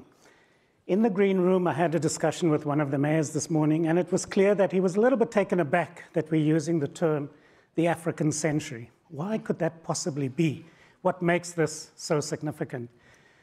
So I ask of you to think of this. By 2060, Africa will have the largest labor force in the world bigger than China, bigger than India. And at the moment, none of the global education policies is anticipating that. Second fact we know that it is impossible to address the climate crisis unless we appreciate that today, as we sit here, the Congo Basin accounts for more carbon sinks than the Amazon, and yet it is not in the global discussion. I can go on. If we look, for example, at the fact that the highest rate of digital financial transactions is in Africa, it tells you that there's a hunger and appetite to embrace the digital revolution. And yet, if we look at global policy, if we look at geopolitics, we look at trade policy, Africa is not at the table. It is not recognized as critical.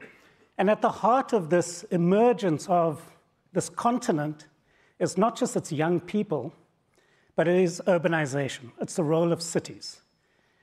What we will see is in just the next 25 years is a more than doubling of the urban residents from, from 580, 90 million today to 1.4 billion by 2050 when we should have achieved the Paris Climate Agreement.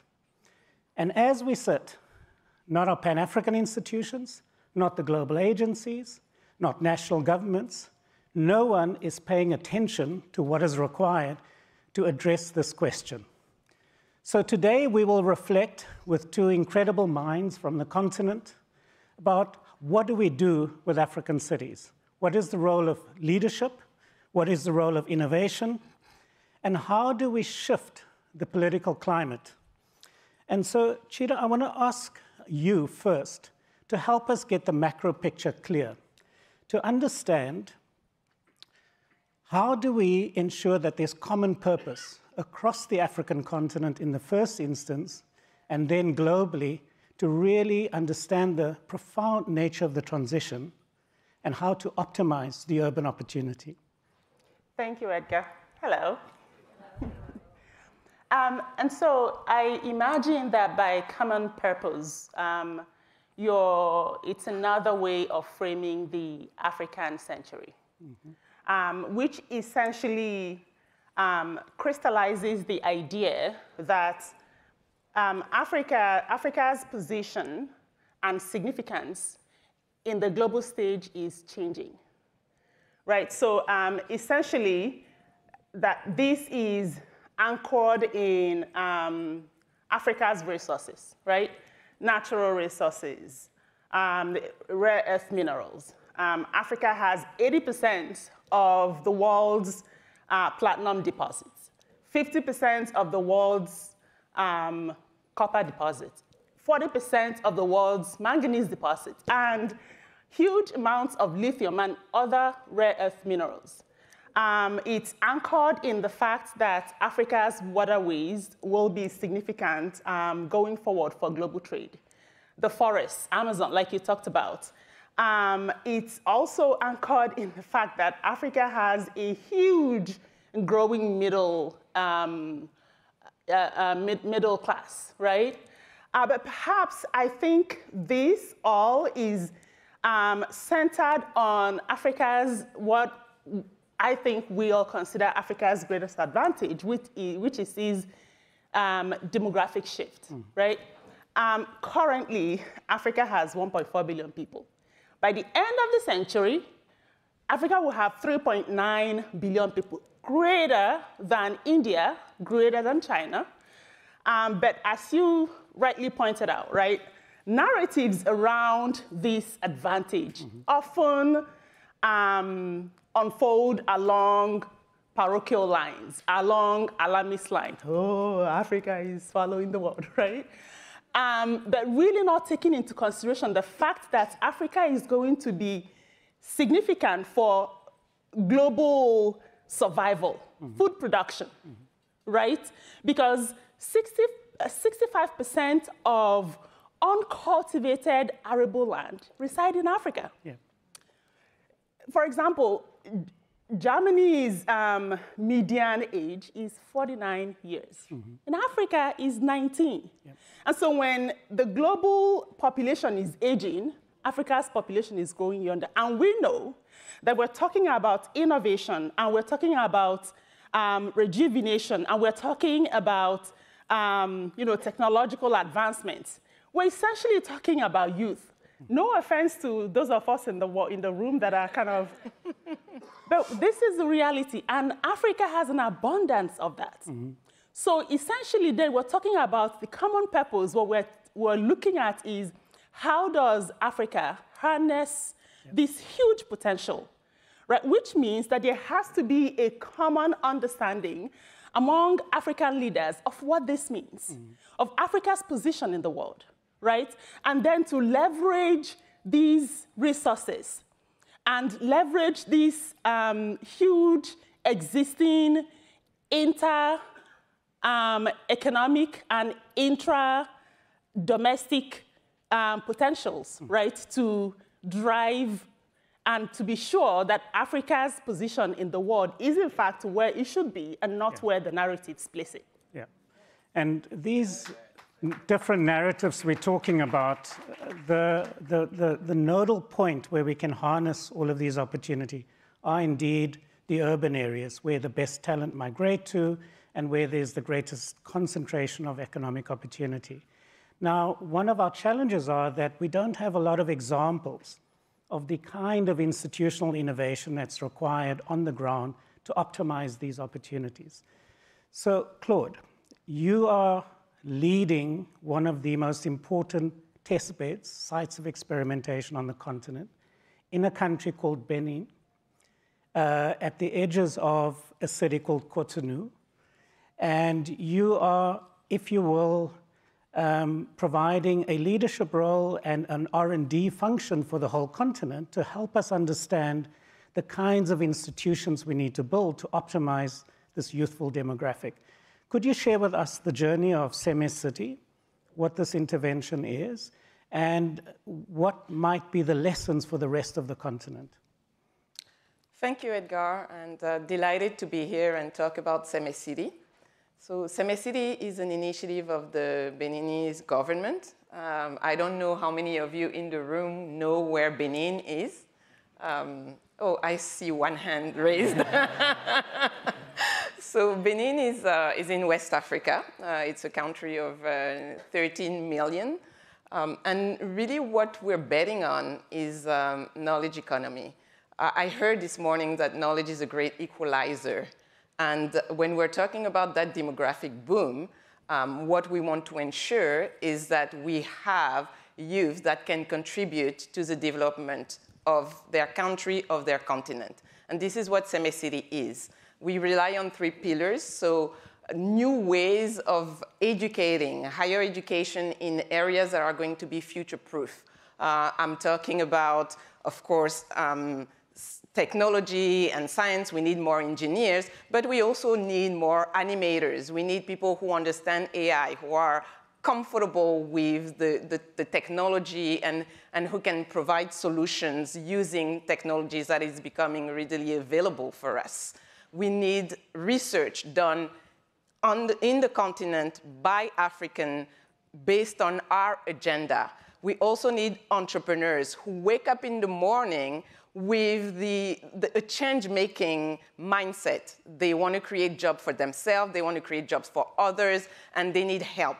And this is what Seme City is. This is putting together these three pillars and giving them a place to really thrive, to make partnerships with people who have done that before but are thinking about how that, that apply in our African context. This is what City is. We started in 2017. We have a number of programs that are already underway, and now we're moving to our scaling phase, developing our city with, which will be able to accommodate 30,000 more young people wanting to change the world. Thank you. And what for me is so striking about Seme City is that you're trying to identify the potential for innovation across the entire value chain, from the human capital side to the pedagogic project to the application with startup companies, but also to try and embed bio-based construction materials and sustainable design in the actual campus itself. And this is really to make the point that Innovation in the African context is really about taking global best practice, but recognizing the importance of embedding that in a very unique local context that has been riddled with a history of neglect and underinvestment, but that also has incredible indigenous knowledge systems that can help us produce genuine, grounded innovation. But within that, there are important cultural barriers as well. And I would say one of those would be an underappreciation of the centrality of women's empowerment and, and particularly gender transformation in terms of leadership development and so forth. Of course, we've got a fantastic example of a woman leader in the case of Seme City, but I wonder, Chiedo, if you maybe, because you're a scholar of leadership and of gender equality, if you could maybe share with us your perspective on why gender equality is so important in thinking about the African project. Um, thank you. So I, I, the, the evidence is monumental, right? That women's um, inclusion and not just inclusion, right? We're gonna let you come in, right? And we're gonna let you operate based on existing um, laws and norms and regimes that have kept you out yeah. all this while, right? So women's meaningful inclusion, right? Um, actually is the basis uh, for, if we look ac across, is a driver of economic growth. Um, and so when we're talking about leadership, women's leadership, we look across the cities um, in Africa, for example, uh, the megalopolis, right? Uh, the the 600 miles of coastal city from Abidjan to Lagos, right? Um, and particularly in Lagos, right, which uh, by 2035 will have 25 million people, yeah. right? And um, most of half of the, them being women and girls. And we look at the increasing um, impact of women in the economy, even though they are marginalized mm -hmm. and they operate in the informal sector, what we call the informal sector, but what we know actually underwrites the formal sector, yeah. right? Go figure, right? Um, if we look at the impact of that, we look at the impact of um, women's um, work, right, uh, in unpaid care work, in, in carrying the weight of the country, uh, the economic weight of the country. Uh, if we look at all of this, it becomes really clear that training women as leaders, women are marginalized and they are this powerful, right? Uh, which also uh, harkens to this idea of women's empowerment, mm -hmm. which is an, a disempowering narrative that folks have used for a while, right? Uh, that's that women are not powerful, inherently powerful, you know, men are, women are inherently powerful. In fact, maybe a little bit more powerful than men, mm -hmm. right? The difference here is in, in, in access, right? Um, the, the creation of opportunity mm -hmm. um, and letting women breathe, have a little bit of time to think, to be creative, right? Rather than tasks all yeah. through day, right? So we create opportunities um, and we expand access for women's leadership. Mm -hmm. COVID-19 showed us that. These headwinds of economic depression show us that. The solutions, indigenous solutions that actually work for the climate crisis show us that, right? So I think it's high time policymakers, uh, those of you in the room, right, actually wake up to the fact that um, we exclude women from powerful policy making spaces to the continuing detriment of the globe, of the global force, right? So let's kind of get it together and get women in the room and actually let them talk, right? So Chiedo, uh, allow me to do a small shout out uh, for the support Bloomberg Philanthropy is providing for a program called the African Mayoral Leadership Initiative. And in the first cohort, uh, we've got some amazing women leaders uh, from across the continent. Some of them are at the conference and they'll speak at some sessions today. Uh, but just to underscore exactly all the points that you've made, and I've seen that direct in that experience. We're running low on time, so I just want to give uh, Claude a, a final word. And I guess, Claude, we know innovation is the central narrative of how we can harness Africa's unique capabilities and assets, but also proactively respond to the formidable challenges. As one of Africa's leading innovators and institution builders, uh, what gets you up in the morning? What keeps you hopeful? Why do you continue to do this really difficult work? Um, I think it's seeing the impact. Mm -hmm. And um, I don't know if it's the case around the world, but in, in Africa, in Benin, you see the impact very quickly. You start with young ones, uh, you see them a year later, and you see what they've done. Actually, this morning I woke up to a message sent by someone in my team saying, hey, my project to use artificial intelligence for wastewater treatment has been approved. This right. is the sort of things that you see when you're in Africa. And I think this is what keeps us going because we know that the time here is critical. It's not easy. There are a lot of challenges, there are a lot of struggles, but in the struggles lies opportunity. And, and I think that mindset that young Africans have that is like the world is their oyster. I, I think, yes, we're growing in numbers, but in that gives a pool of more and more talent that you're going to hear about. You don't know about Benin today, but you will know about Benin tomorrow because you will hear about these great things that are coming out of what's happening there. And I think um, the other important message that I want to uh, share here, it's, it's a global village. It takes you know, yes, an agency like ours, but it also takes government, it takes community leaders, it takes academia, it, that, that's willing to transform itself. And it takes philanthropy to make it happen.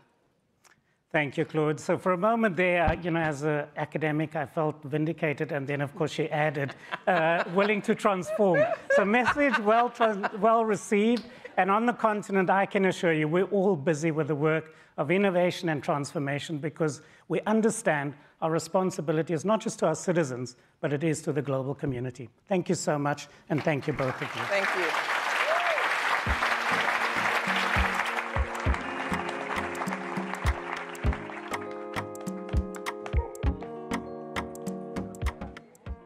And now, the governor of Maryland, Wes Moore, in conversation with opinion columnist for the Washington Post, Jonathan Capehart.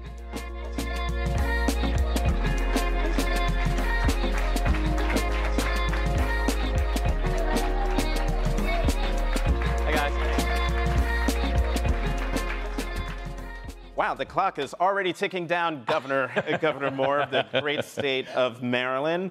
Um, I don't know if a lot of people know this, but you were an intern in right. Baltimore uh, Mayor Kurt Schmoke's uh, office. What did you learn while you were there? What did you do? What did you learn? And how are you using that knowledge in your position as governor? uh, what I learned is uh, first thing a lot of interns learn is like where's the coffee machine and and, uh, and, and where, do you, where do you pick things up for folks. Um, but I, I, tell you, it was also, it was really great for me because um, it was my first time getting a chance to see city government and seeing how it works, how it doesn't, mm-hmm. uh, to see the, the, the, broad ambitions, but, but oftentimes the, uh, the extraordinary limitations if you don't have the right partnerships that are established in place.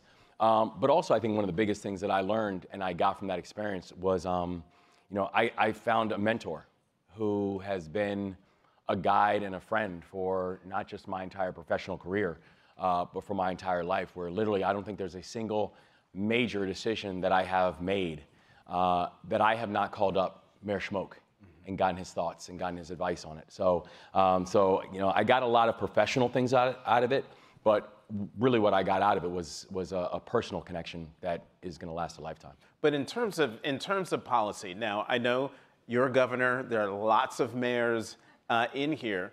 But how are you using that knowledge to, to help localities in your state? Of course, I'm thinking of, of Baltimore, but yeah. how are you applying that knowledge?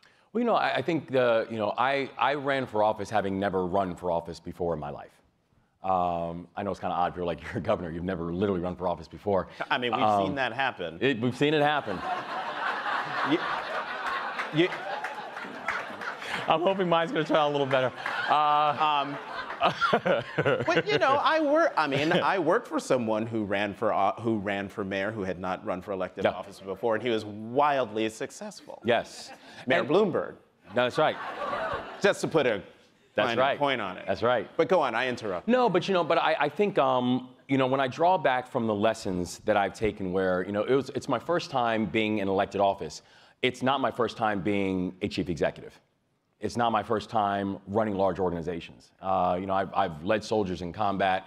I've led a, a successful startup business. I've, I've, uh, I've also led one of the largest poverty fighting organizations in this country. And honestly, a lot of those lessons that I took from those experiences were great preparation for what I'm now doing as a chief executive of, of the state.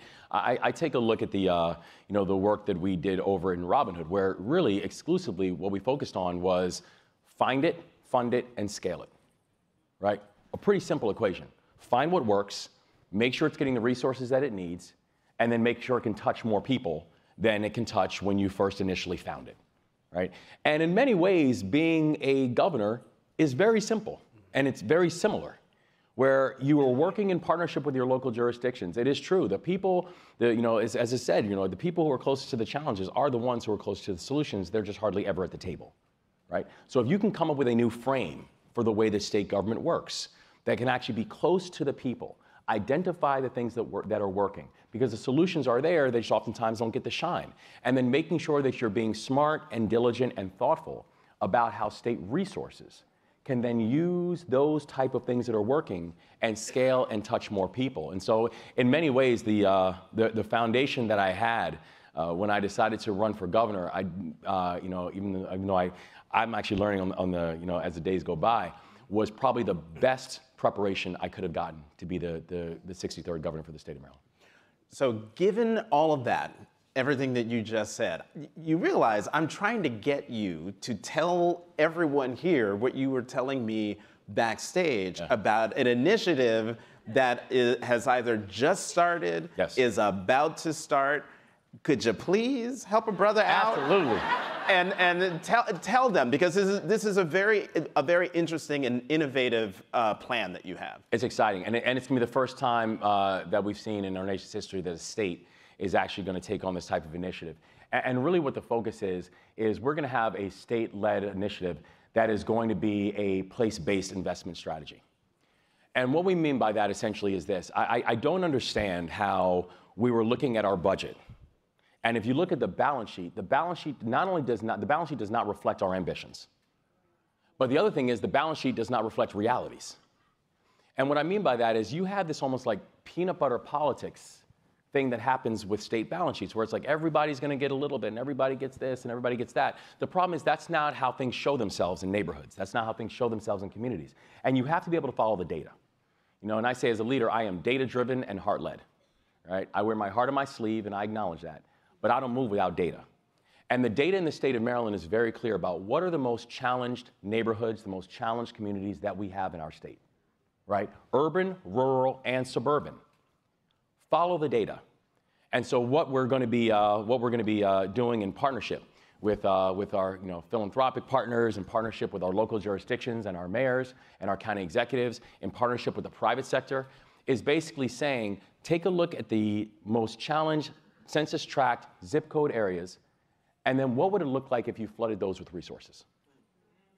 What would it look like if you actually took those neighborhoods that have been chronically and historically neglected and said, we're actually going to prioritize them unapologetically about everything the way we look at transportation assets, the way we look at housing, the way we look at food security, the way we look at educational systems and schools.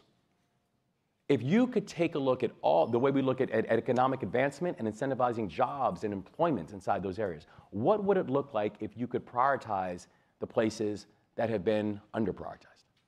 And so that's something that Maryland is going to be, uh, that we're excited about, that we're going to be leaning on, uh, that we're going to be announcing some stuff very soon. And, uh, and we're just looking forward to working in partnership with, with all of you to make it happen. So the policy wonk in me is like, all right, this, this sounds smart, it sounds great, but then the political uh, wonk in me is like, how are you going to deal with the political pushback from the Jiffy Caucus. So you were talking about peanut butter politics.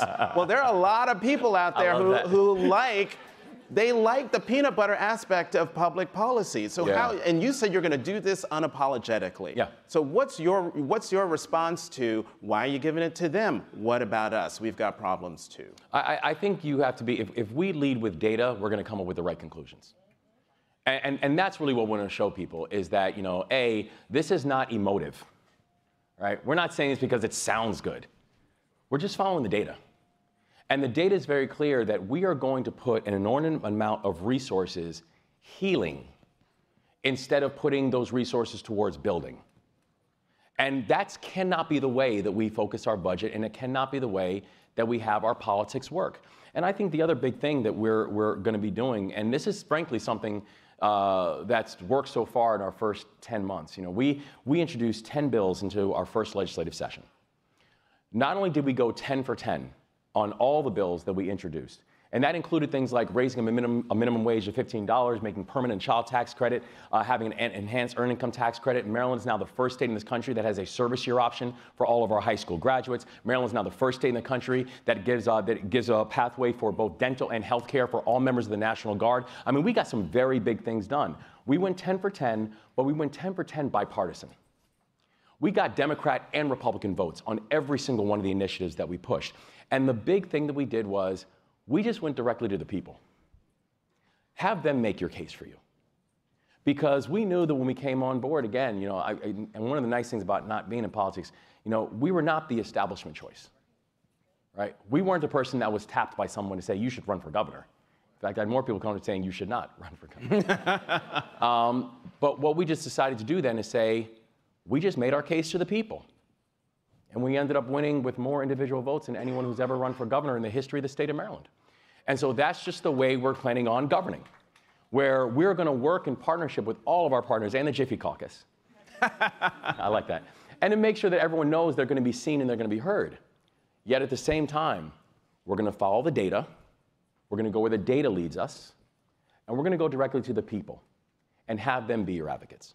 In, in your answer, you talked about transportation, and I understand the red line in, in Baltimore is very important to you. Yes.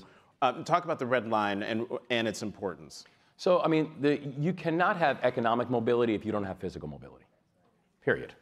Right? You, could, you could place all the job placement things all you want, but if it takes you an hour and a half to go a mile and a half because of a lack of public transportation, transportation assets, then what have you done and what have you created?